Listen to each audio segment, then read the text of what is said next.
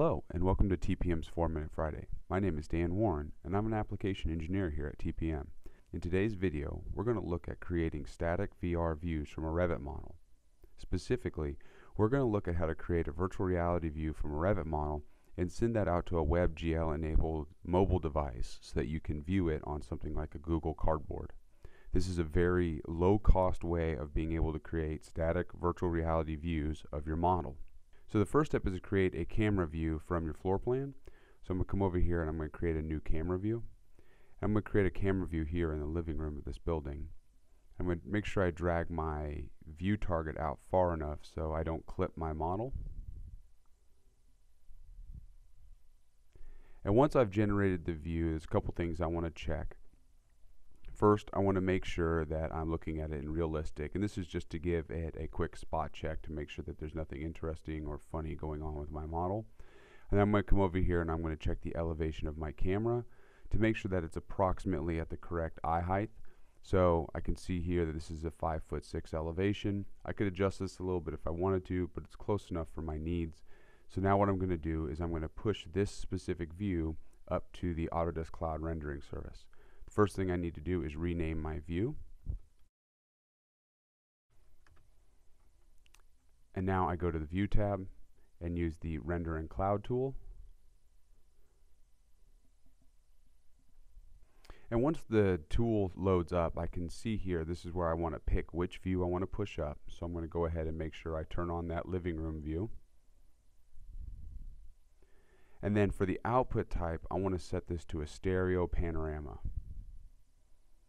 And from here, I can set the quality, exposure, and width of the image. And as these go up, as my standard quality goes up to final, or I use advanced or native rendering tools, this will cause more uh, cloud credits to be consumed during this process. And that's just because we have more data that we're processing. So I'm going to go ahead and send this up. and Revit will go ahead and push that view up to the cloud and it will start rendering it. I will actually get an email when this process is finished and I'm just going to go ahead and skip a little bit ahead until the process is finished.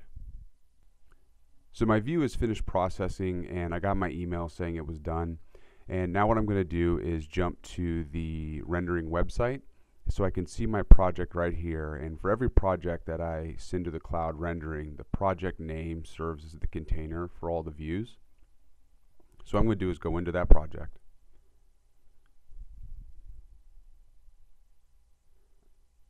and in the project I can see here all the different views that I've generated here's the one that we just sent up from the front room and I can look at this I can turn it around I can look up I can look down um, I can sort of just see what this view looks like. And I can see it's got this grainy effect, and that's due to the exposure type that I sent up. Um, you may need to do this a couple times to get the settings just right.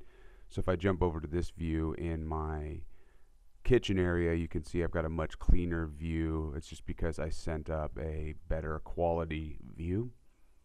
But if I want to share this view with my um, mobile device so I can view it on an Google Cardboard, what I have to do is come up here to the link tab and turn on share via link. And this will give me the hard link to this view, which I can copy, and you can embed this in a website or in your blog or, or anything you need. Or additionally, you can use this QR code, and just scanning this QR code will generate the link to this view and you can go ahead and then turn your phone sideways and drop it into your Google Cardboard and that'll give you that static VR view of your Revit model. Well, I hope today's video showed you how you can very easily send uh, a view from your Revit model out to a Google Cardboard device. I want to thank you for joining me today uh, for TPM's 4 Minute Friday. My name is Dan Warren, and I hope you have a good day.